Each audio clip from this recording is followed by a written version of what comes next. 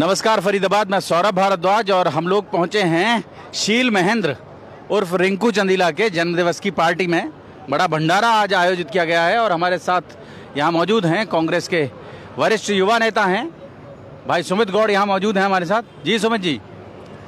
देखिए, मैं सबसे पहले तो बता देना चाहता हूँ कि आज हमारे सबके प्यारे भाई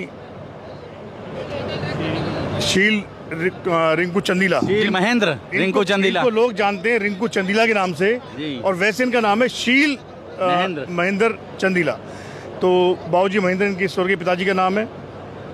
तो एक जन्म दिवस से भी पहले मैं एक बात बता देना चाहता हूँ। आज ये सत्यनारायण कथा जी का एक आयोजन किया गया यहाँ पे। उसी सत्यनारायण कथा की कथा के बाद जो भंडारा होता है वो भंडारे का आयोजन किया गया है। क्योंकि रिंकू चंदीला की परिवारजनों की एक इच्छा थी कि सत्यनारायण की कथा होनी चाहिए। तो उसी कड़ी में आज साथ साथ ही उसके रिंकू चंदीला ने तिगांव विधानसभा क्षेत्र में अपने कार्यालय का भी आज कार्यालय भी आज से खोला है इसने अपना। और आप यहाँ पर उपस्थित जनसमूह आज बता रहा है आपको कितने लोग यहाँ पे यहाँ मतलब सवेरे साढ़े दस बजे से लोग आ रहे हैं और अभी एक बज चुका है अभी भी देखिए आप तांता लगा हुआ है। तो इससे पता चलता है कि हमारे रिंकू भाई की पॉपुलैरिटी।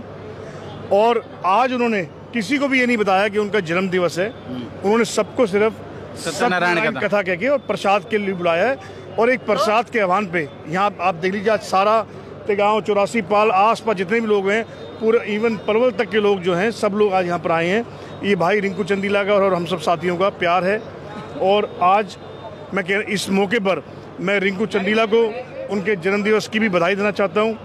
और जो इन्होंने आज ये सत्यनारायण की कथा करी, अपने बड़े बूढ़ों के माँ बाप के कहने कहे अनुसार, और जो उन्होंने आज यहाँ पे सर्व समाज के सभी प्रमुख लोगों को आज जो उन्होंने जोड़ा, और वाकई में आज कई ऐसे लोग पुराने चेहरों से मिलना हुआ, जिनसे मिले हुए कई काफ़ी टाइम हो गया था।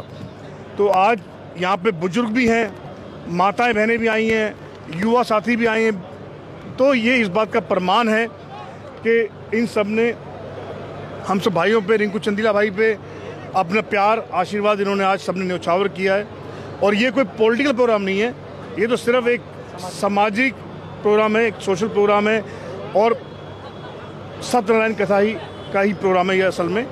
और लेकिन सत्यनारायण कथा में और भंडारे में आज हज़ारों की तादाद में जो लोग यहाँ पहुँचे हैं, जो लोगों ने पहुँच के इनको, इनके परिवार को आशीर्वाद दिया वह इसके अब आज लोगों ने कार्यालय भी देखा टेंट के साथ काफ़ी अच्छा कार्यालय बनाया, रिंकू ने अपना। तो सबने बधाइयाँ भी दी, और मैं भी, सौरभ जी, आपके माध्यम से अपने बड़े भाई रिंकू चंदीला जी को, जो यूथ कांग्रेस के लोकसभा अध्यक्ष भी रहे हैं, और पहले उससे पहले जिला अध्यक्ष थे तो मैं उनको भी बधाई भी दूँगा जन्मदिवस की भी, और जो आज उन्होंने पुनीत कार्य किया, इसके लिए भी उनको बहुत बहुत शुभकामनाएँ। धन्यवाद। तो फरीदाबाद, जोड़ेंगे आपको शहर की ऐसी और महत्वपूर्ण खबरों के साथ। बहुत बहुत धन्यवाद।